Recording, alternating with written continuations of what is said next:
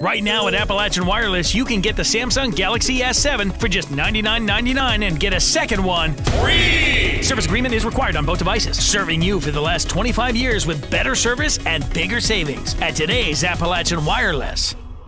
Kentucky State Police is currently investigating the escape of two inmates from the Big Sandy Regional Detention Center.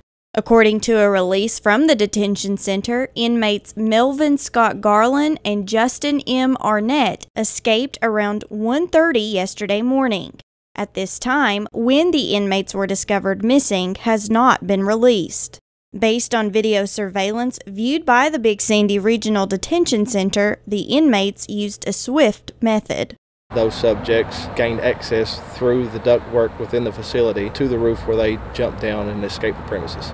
31 year old Melvin Garland of Royalton and 25 year old Justin Arnett of Salyersville were both lodged in the Big Sandy Regional Detention Center for numerous charges.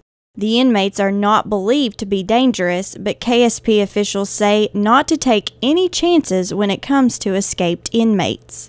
If anyone out there does see these subjects, just please don't approach them. Call 911 immediately, letting us know their location. The Big Sandy Regional Detention Center was put on lockdown after the escape.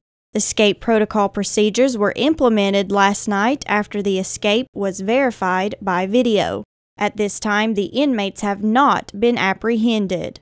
Uh, we have an active investigation for the escape, which is being investigated by the troopers. Uh, if anyone has any information, they can contact Post 9 or their local law enforcement agency.